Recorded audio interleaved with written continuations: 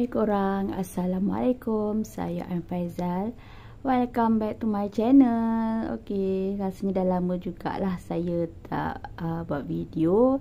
Sebabnya phone saya rosak. Uh, Jadi saya terpaksa stop dulu buat video. Uh, Ni dah, orang kata dah beli phone baru. Uh, Jadi bolehlah buat video lagi Orang kata uh, phone yang saya beli ni pun uh, phone biasa-biasa je, phone murah je, tak canggih mana pun, uh, tak ada beza pun dengan yang lama dulu tu. Tapi bolehlah daripada tak boleh nak buat video langsung kan. Uh, uh, untuk hari ni saya nak unboxing satu barang, satu je, tak banyak mana pun. Okey, ni dia. Saya dah buka pun dia punya plastik ni.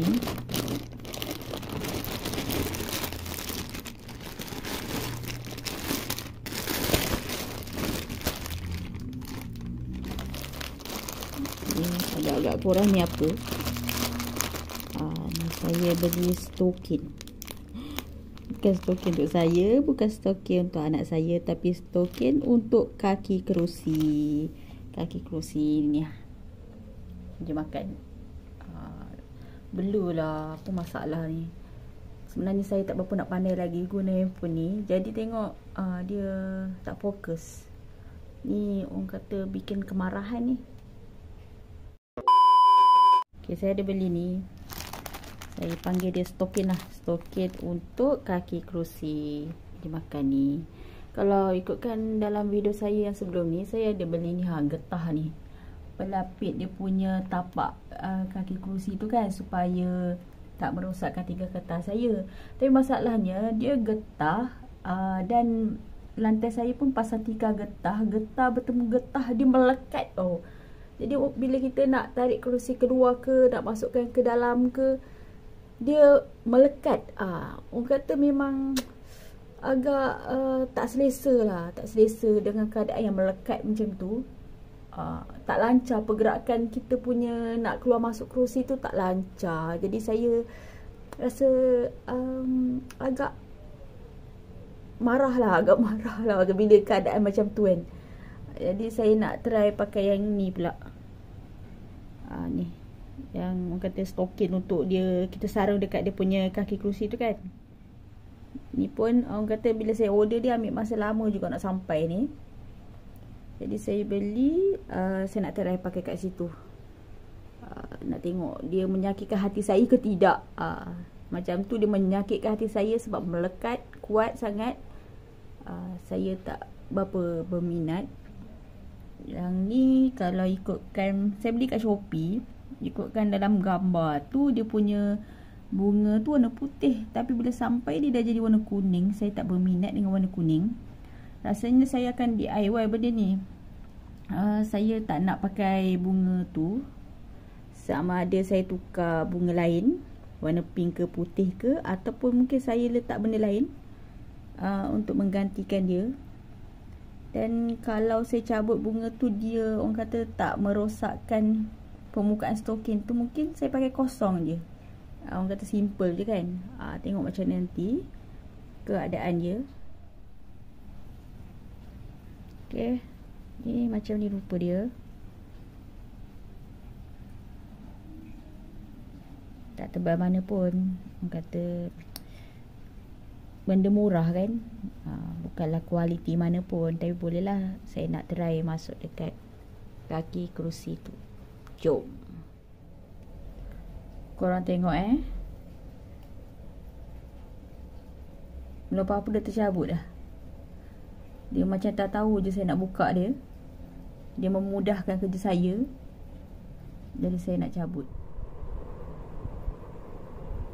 Okey korang macam ni keadaan dia setelah saya pasang ke semua kaki uh, kerusi ni.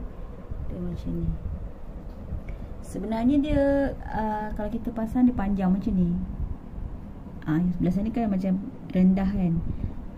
Ni asalnya kalau kita pasang dia panjang macam ni. Panjang. Cumanya kalau korang perasan nampak tak ada belak. Yang bahagian atas tu dia warna pink yang bawah tu macam gelap. Yang ni. Dia gelap. Sebabnya belah dalam dia macam ni. Belah dalam ni. uh, bawah dia warna gelap atas dia warna pink jadi bila kita pasang macam ni dia ada bayang gelap dekat bawah jadi orang kata ada dua tone kat situ jadi tak menarik bagi saya tak menarik jadi saya lipat bila lipat dia jadi macam ni lah dia jadi kotak macam ni walaupun kotak tapi kita nampak dia warna pink lah. Uh, satu color je. Tapi kalau kita pakai memanjang macam ni ada nampak dua tone. Bawah dia warna gelap kehijauan atas dia pink. Jadi bagi saya tak menarik. Jadi semuanya saya lipat macam ni. Jadi orang kata dia punya warna tu uh, satu warna je lah. Bukan ada dua layer macam ni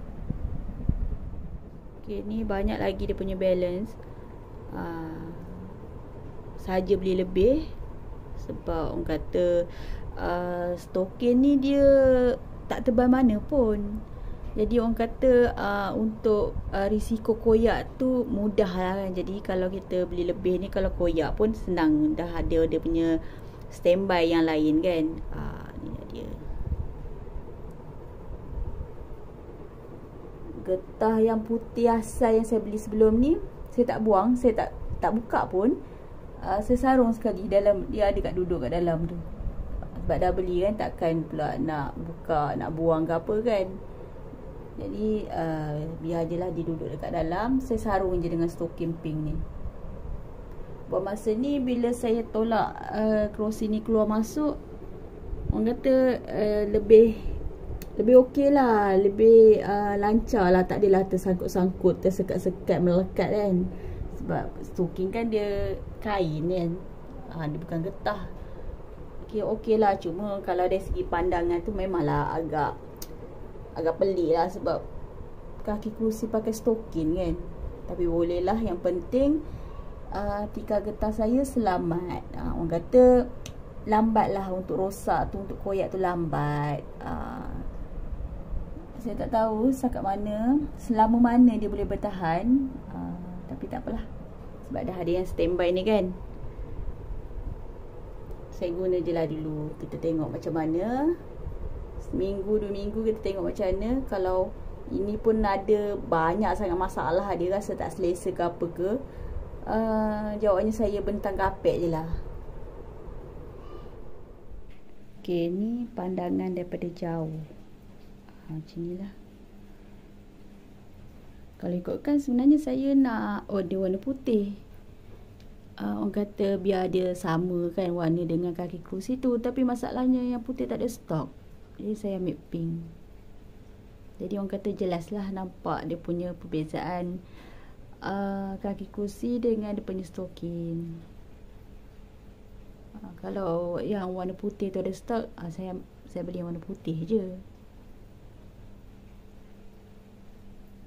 Sini pandangan daripada sisi